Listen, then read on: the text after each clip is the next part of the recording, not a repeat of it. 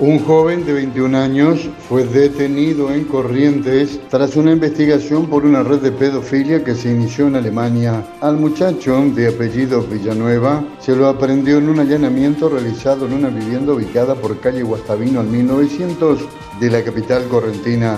En el lugar también se secuestró un celular y una motocicleta Honda Wave color negra.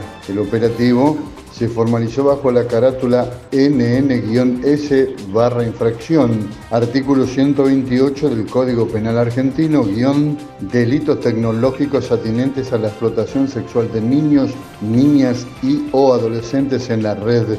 La pesquisa fue iniciada por la policía de Múnich por tráfico de material de explotación sexual de niños, niñas y adolescentes que era comercializado en las redes a un costo de 65 euros. Se verificó una célula en la que participaba una persona, a la que se ubicó en Corrientes a través de un número de abonado con código de área 3794, luego de una minuciosa recolección de información. A través de los convenios internacionales suscriptos por la Argentina, la justicia alemana se conectó con las autoridades judiciales de esta provincia. Actuó la Dirección General en Delitos Complejos y Delitos Informáticos para localizar y detener a Villanueva. En un primer intento Prefectura Naval Argentina no pudo lograr el objetivo. Finalmente la policía local, luego de dos etapas de investigación, logró ayer alrededor de las 20-30 horas en Avenida 3 de Abril y Guastavino la captura de Villanueva. En noviembre de 2022 hubo dos allanamientos por pornografía infantil en dos departamentos del monobloc 17 del complejo de las mil viviendas,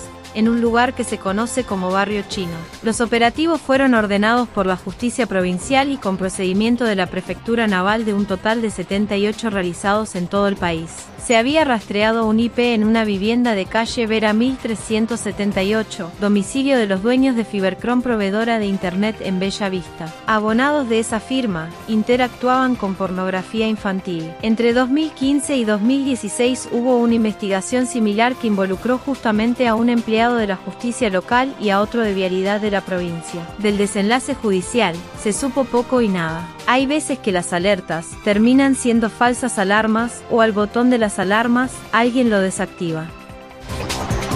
La unión entre la Libertad Avanza y el PRO en Buenos Aires, tras las sendas reuniones del presidente Javier Milei con el exmandatario Mauricio Macri, podría derrapar en una alianza electoral en 2025 en todo el país, como la única salida que tiene la escuadra amarilla, la que viene en picada en todas las encuestas. El diálogo político podría irrumpir también en Corrientes, donde la fuerza que lidera Macri, en un porcentaje integra el frente oficialista con el radicalismo gobernante, y la otra mitad decidió salirse del gobierno de Gustavo Valdés. La deserción fue avalada por las autoridades a nivel nacional, quienes le sugirieron que hagan su propio juego, y nadie da puntada sin hilo.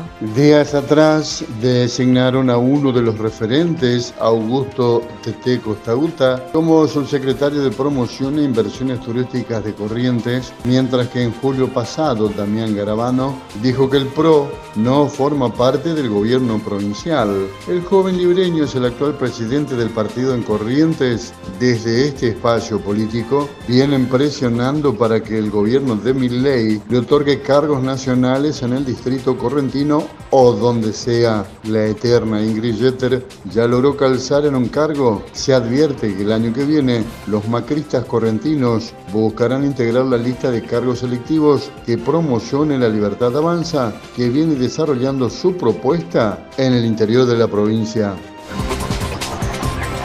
Polémica en vialidad provincial por el pago de vacaciones no gozadas a algunos empleados. El dato, este beneficio, ahora ratificado por el nuevo presidente Luis Pablo Cardoso, ya fue otorgado en tiempos de Armando Espíndola como titular del organismo vial, pero a modo de contribución para evitar vulnerar la normativa. Asimismo, algunos sostienen que esta posibilidad no la tienen todos los trabajadores, quienes terminan masticando bronca por lo bajo, y que si alguien se opone en la cadena de aprobación, termina siendo sumariado. Sin embargo, el decreto 3215 del 1 de noviembre de 2019 determina que la postergación de la licencia anual ordinaria deberá estar motivada por razones de servicio debidamente fundamentadas. Además, este instrumento legal dispuso que a partir del 2 de diciembre de 2019, todos los agentes de la administración pública deben utilizar las licencias postergadas hasta agotar los días que le corresponden. No obstante, se están liquidando vacaciones no gozadas del año 2023, violando claramente la